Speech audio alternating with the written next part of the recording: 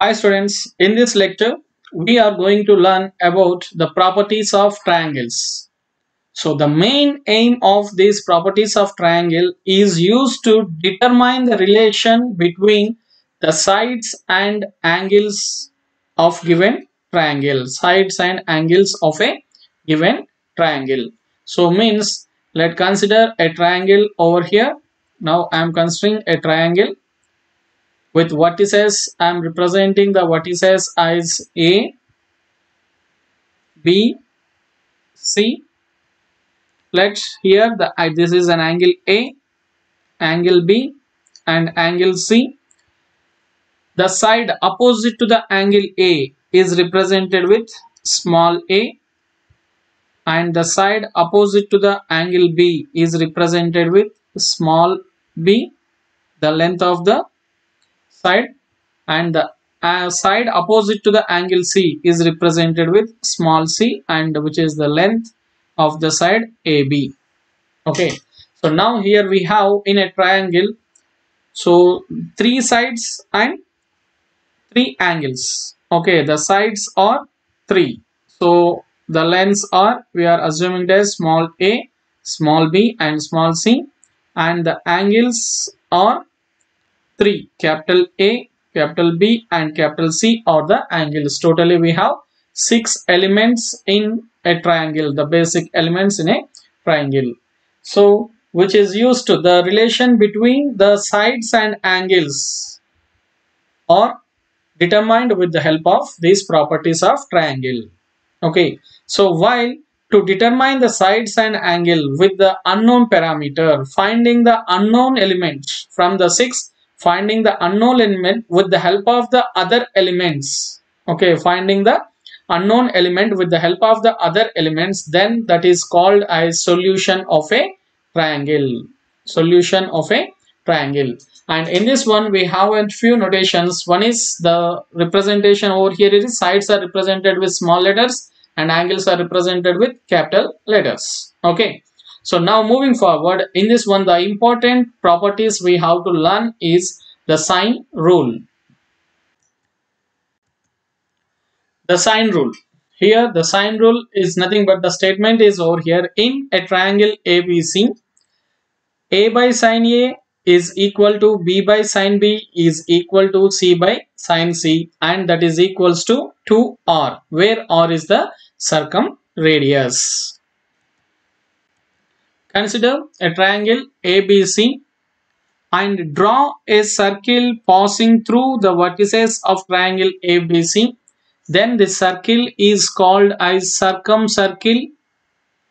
Circle is called as circumcircle and the perpendicular bisector concurrence of the sides. Okay, perpendicular bisector concurrence of the sides is called as the point is called as circumcenter the point is called as circumcenter.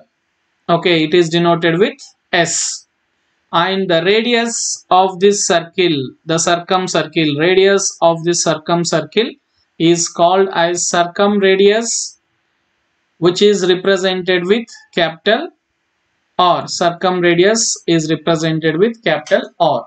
And what is the sine rule tells us the ratio to the side and its opposite angle. Now A is a side and its opposite angle is sine A. The ratio to the side and its opposite angle are in proportional. That means now the ratio to the side B and its opposite angle. That means C what is B by sine B.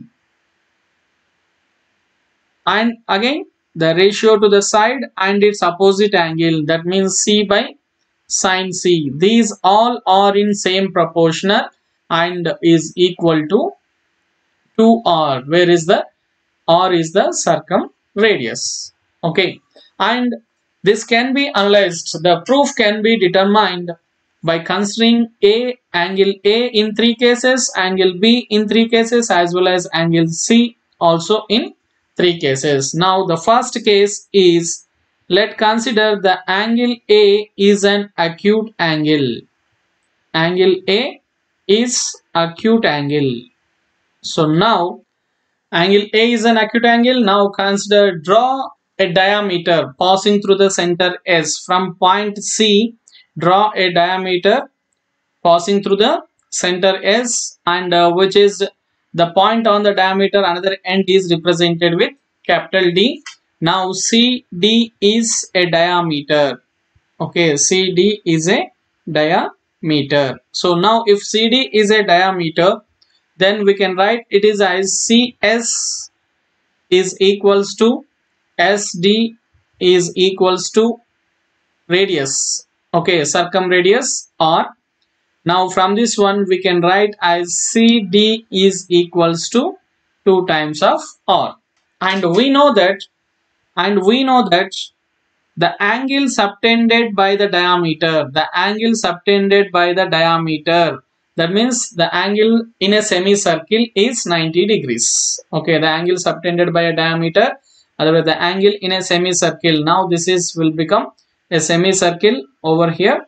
The angle in a semicircle is 90 degrees. Now the angle B is equals to 90 degrees. And we know that the angle D and angle A are in same segment. We can make these two are equal. Okay, angle B and angle A are in same segments. These are in the same circle.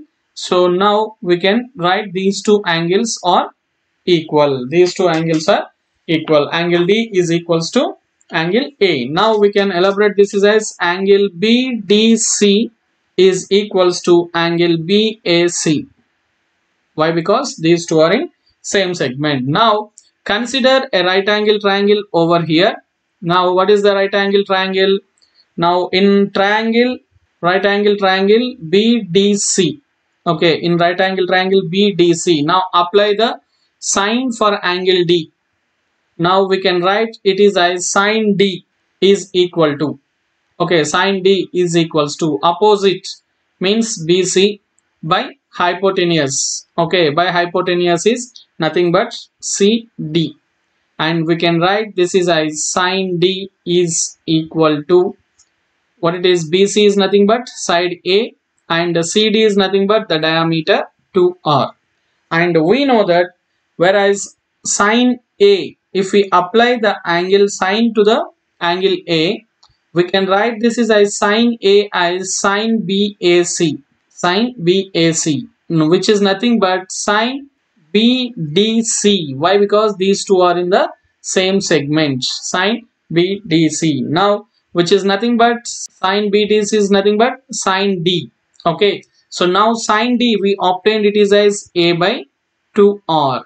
Okay. From this one we can write it is as sine d is equals to sine d is nothing but sine a. So now we can write sine a is equals to a by 2 or from this one we can write it as the ratio to the side and its opposite angle a by sine a is equal to 2 r which is the case for if a is an acute angle if a is an acute angle now moving forward the another case if A is a right angle. If the second case is if angle A is a right angle. We know that the angle subtended by a diameter otherwise the angle in a semicircle is a right angle. Now angle A the diagram will become the angle A is 90 degrees. Okay the angle A is 90 degrees. So if this is 90 degrees okay if this is 90 degrees. Then we can write it is ice. So the length a is equals to b times of sorry bc okay the side bc is equals to length a. And we can write bc ice nothing but diameter. Bc is a diameter. Now which is equals to 2r into 1 okay bc equals to 2r then we can write 2r into 1 and we can write 1 as sine 90 degrees okay sine as 1 what is?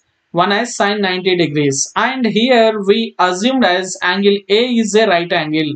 So that means angle a is 90 degrees. Now replace a with 90 degrees with a. Now a is equals to 2r from this one we can write as a by sine a is equal to 2r a by sine a is equal to 2r. Okay, now moving forward, the case 3, A is an obtuse angle. Now the angle A is an obtuse angle. Okay, so that means greater than 90 degrees. The angle A will greater than 90 degrees and the circle, the triangle will be in the circle like this. Now draw a diameter from point C passing through the circumcenter S. Let it is point D. Now the diameter is subtending an angle H over here. This is B. Angle B is 90 degrees. Okay, angle B is 90 degrees.